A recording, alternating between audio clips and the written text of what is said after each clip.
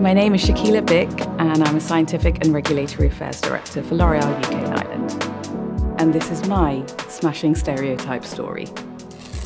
A key moment in my life that cemented my decision to pursue a career in STEM was definitely my internship.